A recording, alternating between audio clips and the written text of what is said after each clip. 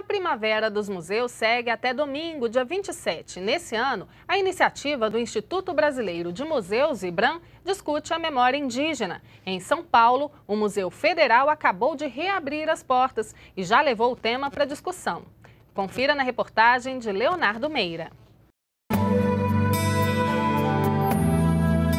O Museu Lazar Segal fica nessa rua tranquila da Vila Mariana, em São Paulo.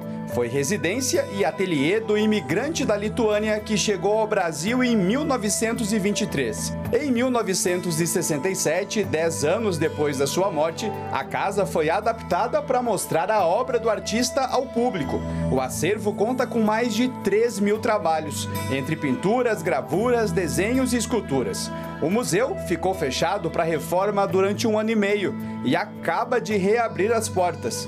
Para quem chega aqui no museu, a reforma pode até passar despercebida, mas boa parte da infraestrutura foi renovada. Destaque para o sistema de climatização, que mantém a temperatura em torno de 20 graus e a umidade em 45%, o que é fundamental para a conservação das obras. O investimento foi de 2 milhões e meio de reais, recursos do Fundo Nacional de Cultura e da Petrobras. Um telhado de 3 mil metros quadrados, toda a rede elétrica, que é bem complexa aqui no museu, que são três residências, eh, aparelhos de climatização e hoje temos inclusive um gerador elétrico.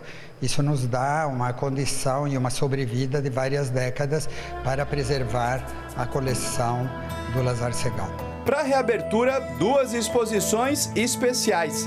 Essa mostra o trabalho de Segal e de Cândido Portinari em torno de Mário de Andrade, uma das mais importantes figuras do movimento modernista nas artes brasileiras. Já essa outra é uma espécie de diálogo entre gravuras feitas no século XVIII pelo italiano Giovanni Piranesi e a obra da artista brasileira contemporânea Ana Maria Tavares, que também fez essa intervenção no Jardim do Museu. E museu não é só exposição de obras. Olha aí essa turma de alunos de uma escola estadual que fica pertinho dali. Faz quatro anos que um projeto leva os jovens para dentro da instituição.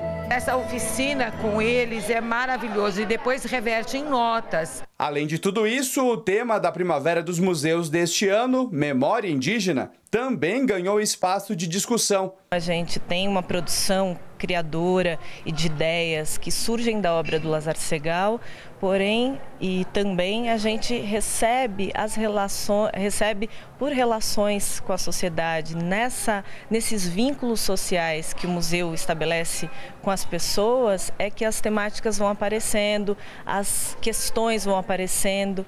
Então tem a construção que é de dentro para fora, mas por ser um museu público, é necessário que a gente tenha escuta para as questões que, que surjam da sociedade. E essa, por vir como uma temática, ela precisa ser encarada é, de maneira crítica, analítica, junto das pessoas.